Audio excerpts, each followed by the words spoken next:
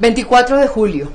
Dolor, indignación, rabia nos embargan a miles de colombianos por la muerte con arma de fuego de Pancho y Chita, los dos chimpancés que vivían en el bioparque Ucumarí. No voy a ahondar en lo que pasó, en si sí o no se hizo, ya las explicaciones las dio su directora sobre el tema del código rojo y el error humano que estuvo en la base de esta tragedia, pero sí quiero decir que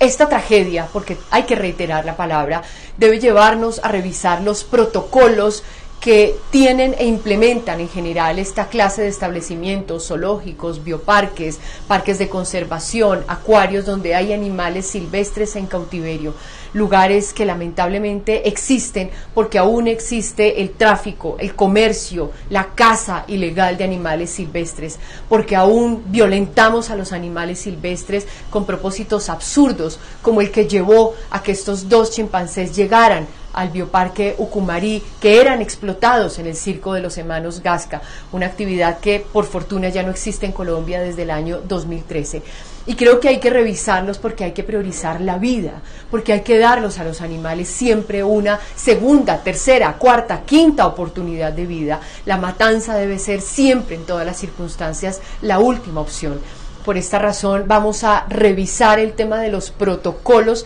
dentro del proyecto de ley Chucho que estamos trabajando para hacer obligatoria la acreditación internacional en estos establecimientos con el fin de adoptar los más elevados estándares de bienestar animal y de protección de la vida. Si esto ocurrió en el Bioparque Ocumarí, que junto con el Zoológico de Cali es uno de los que tiene más altos estándares en temas de seguridad y manejo, no me quiero ni imaginar lo que podría ocurrir y lo que seguramente ocurre en tantos zoológicos de tres pesos que todavía operan en Colombia. Así que vamos a revisar estos protocolos y que esta tragedia por lo menos sirva para eso, para evitar futuras muertes innecesarias y evitables.